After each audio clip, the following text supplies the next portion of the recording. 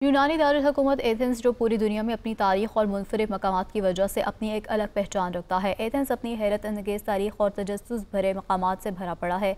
Athens के तारीख़ी और कदीम तरीन मकाम एक्रोपोली के साथ यूरोप का सबसे बड़ा स्ट्रीट बाज़ार मौजूद है। इस बाज़ार में आपको सिर्फ़ हाथ से तैयार शुदा अशिया मिलेंगी।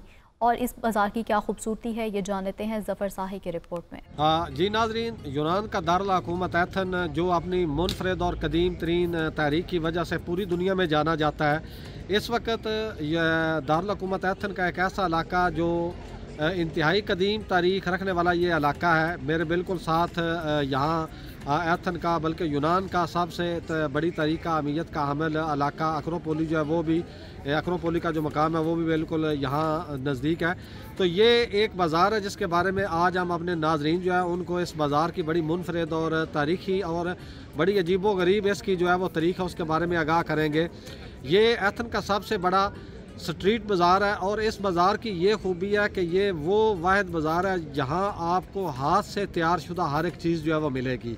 इस पूरे बाज़ार में ये तकरीबन एक किलोमीटर लंबा इलाका है जिसके अंदर ये बाज़ार लगता है और हफ़्ते के सातों दिन ये बाज़ार जो है ये बिल्कुल जो है ये आबाद रहता है, लोग यहाँ आते हैं, लेकिन वीकेंड पर यहाँ शदीद रश जो है वो आवाम का देखने को मिलता है। ये एक ऐसा बाज़ार है जहाँ आपको हर एक चीज़ वो मिलेगी जिसको हाथ से जो है वो तैयार किया जाता है।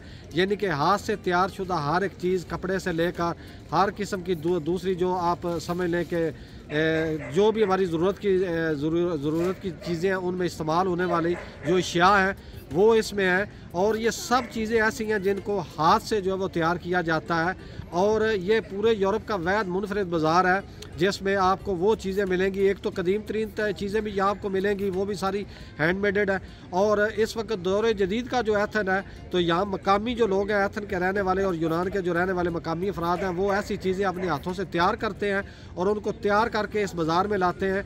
और ये एक ऐसा बाज़ार है जो यहाँ आने वाले जो टूरिस्ट हैं, उनकी ख़ास तोज्जो का मरकज़ जो है वो रहता है, वो टूरिस्ट यहाँ आते हैं और इन चीज़ों को बड़ी दिलचस्पी के साथ देखते हैं और इनको ख़रीदते हैं। क्योंकि यूरोप के रहते हुए बहुत कम ऐसी चीज़ें आपको मिलेंगी जो हाथों से तैयार की जाती हैं, क्योंकि दौरे जदीद में इस वक्त मशीनरी का दौर है, हर चीज़ जो है मशीन से तैयार होती है। लेकिन ये यूरोप का वैद एक ऐसा बाज़ार है और बहुत बड़ा ये बाज़ार है, तकरीबन एक किलोमीटर लंबा ये बाज़ार है, जैसे, इसकी अगर आप देखो तो एक किलोमीटर का जो इलाका है, उसमें ये बाज़ार जो है इसको लगाया जाता है। और इसमें सारी चीज़ें ऐसी होंगी, बाज़ार के दोनों तरफ़ जो लगाई गई हैं, जो कि सब हाथ से जो है वो तैयार की जाती है।